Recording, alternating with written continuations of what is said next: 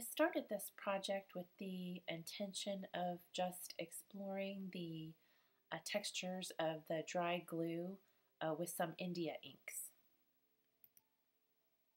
I'm starting off here with just some 140 pound watercolor paper and I'm using a straight edge to get a really nice deckled edge on my paper.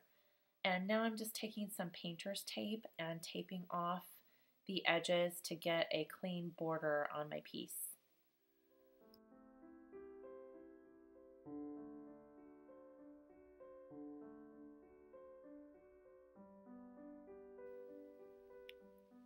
I started out with the intention of exploring uh, glue, dried glue as a texture, both on paper and on boards. And on these, uh, once I put the glue on, I let them all dry overnight. Uh, and then I added a coat of India ink and just washed it out with my brush. And now I'm adding a layer of encaustic medium and then fusing it.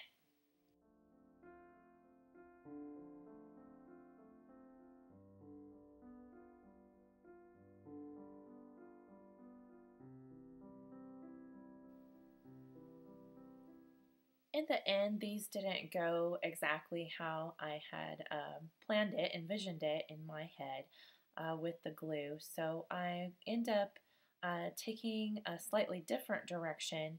And uh, it's the wonderful thing about encaustic is that you can kind of turn the corner and take it a new way and uh, keep exploring. And once I made the commitment to add several different layers of uh, encaustic medium to these papers, I know that in the end, if I want to keep them, I'm going to have to mount them to a rigid surface. So most likely I'll end up uh, mounting them to uh, hardboards.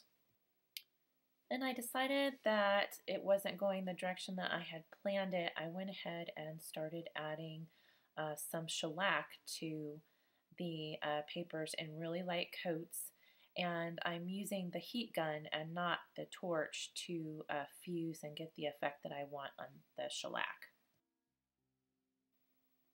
And here I'm just doing some extra shading with pan pastels and I find that they work really well both under and over the encaustic medium.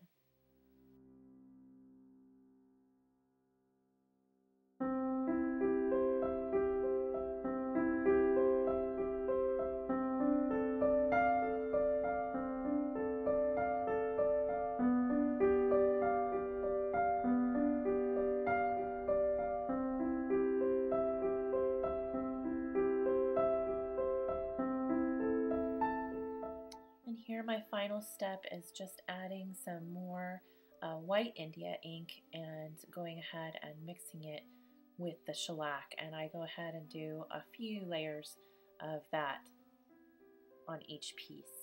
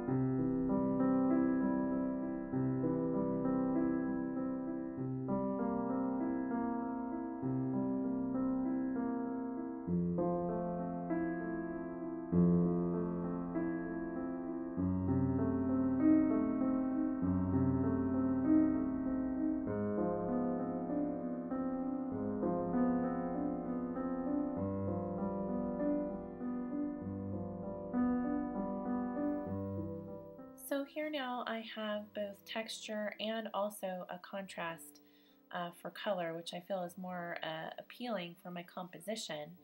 And so sometimes I just need to take a step back and uh, think of a different direction to take the piece in, and in this case, I think it worked out well. So I hope you guys uh, enjoyed the video and have fun, uh, and leave any comments below if you try this project. And if you are enjoying watching the Wax on Wednesdays video series, then please like and subscribe to this channel. Happy creating, everyone!